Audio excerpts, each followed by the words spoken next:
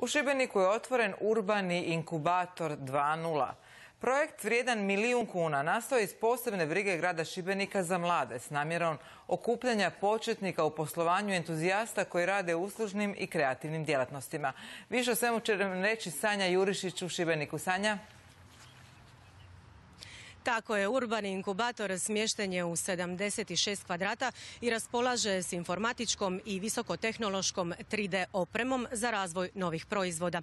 Osim mogućnosti korištenja te sofisticirane opreme, mladi poduzetnici u buduće će imati priliku sudjelovati i na brojnim radionicama. Evo priloga. Inkubator je na raspolaganju onomu tko želi razviti ideju i pokrenuti posao. Nudi različitu opremu od računala do 3D skenera. Znači on je vrlo praktičan za ako trebaju ne znam arhitekti nekakve predmete pa ih trebaju ubaciti u svoje nekakve nacrte slično. Pa ovdje imamo jedan e, stvari veliki printer ili ploter u stvari i iznad njega e, veliki skener.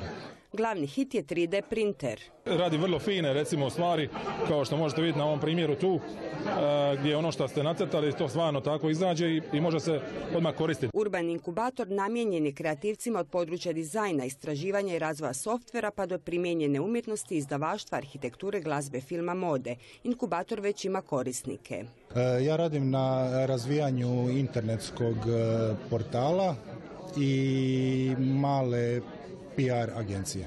Nisam od te vrste kreativaca da bi mi potreban bio 3D printer ili skener, ali vjerujem da će biti takvih. Poduzetne kreativce pozivaju da ne odlaze u svijet, nego da se što prije počnu koristiti inkubatorom kako bi pokrenuli posao. sve svoje znanje, svu svoju kreativnost, sve svoje ideje koje imate uz pomoć ljudi koji će vam biti tu na raspolaganju, uz pomoć tehnologije, digitalne tehnologije koja tu je, kako možete svoju sudbinu uzeti u svoje ruke. Kako možete po- pokrenuti start-up firmu, Stalni korisnici inkubatora plaćat će članarinu, a povremeni vrlo povoljnu naknadu.